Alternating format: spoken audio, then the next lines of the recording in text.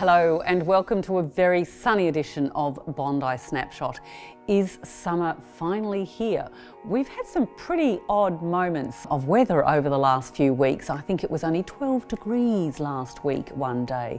And this is November, it's crazy, isn't it? Hopefully the sun is here, the surf lifesavers are out. We're here at the North Bondi Surf Club. So what a cracker of a week. We had a brilliant start with an auction at 12 Stephen Street. Amazing with something like 13 registered bidders. In the end, there was a very strong opening bid, which was actually above the reserve, which is usually unheard of. But but it was a great result, $375,000 above reserve.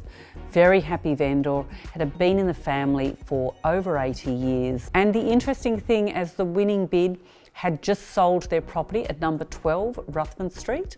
Their bidding number was number 12 and they bought number 12. So it's a really special story. So that added another great tally to our sales total, which we smashed 500 last week. Now the funny thing is, I actually thought we had just smashed last year's total of 503.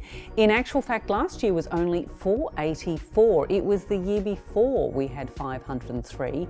We're now closing in on 520 and there's still a month of selling to go. Wow, could we even crack 550? That would be interesting. We've had a mixture of off markets and on markets this week. Alex has been blitzing Bronte Road with a range of property sales there and still a couple more on the market. That's been pretty exciting. We had a fantastic off market in Ben Buckler. We'd sold one just before COVID in the building at 140 Hastings Parade for 1663, I think it was 1666.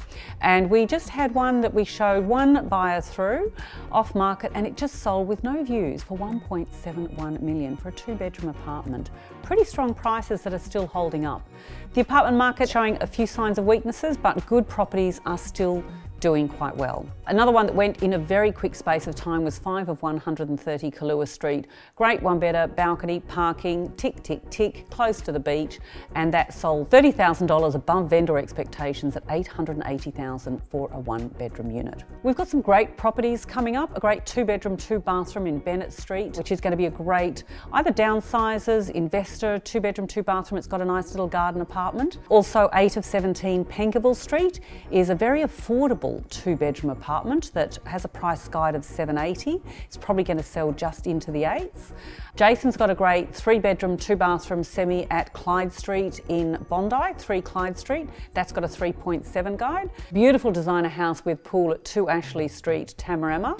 That's going to have a price guide of 4.2. 5 Benara, very popular street in Bondi, which is a three bedroom, two bathroom, two parking semi, 3.3 to 3.5 guide. Now onto the rental side of the property market. There has been quite a lot more on the market, about 30% more uh, supply according to our property managers. So properties are getting a little bit harder to lease out. Um, it's interesting, Katrina's got a great tale of properties renovated versus just looked after. We had one that was beautifully brand new renovated in McPherson Street on the Randwick side of the street, which is not normally the most popular. And that uh, was on the market for one day and leased out at $780 per week. It originally had an ask price of $750, two bedroom parking. On the other side of the street, the Waverley side, which is usually the more popular, it was still nicely done, but it was just tidy and neat and modern. And that rented out for $630 and it took 10 days to rent out. So there's a big difference in how properties are prepared. Presentation, as we know, in the sales market, but also in the property management side is everything. So it's interesting, we're finding that because we've got a lack of students and a lack of tourists and that hospitality staff, a lot of people have gone back overseas, there are some good bargains to be had. So we're having a lot of people who are looking to upsize their rental properties, but also it's a good chance for people coming in into the area from outside because Bondi and the eastern suburbs is now looking very affordable for rentals. So guess what? It's the second week of November and realistically we're getting into the last week or two of listing and selling before Christmas. We are starting to focus on getting properties ready for January. As always, PPD are back on deck for the first week of Jan. So please, if you're thinking about 2021, as opposed to 2020, which has been a tough year for all, give us a call and let's have a chat about positive, hopeful 2021.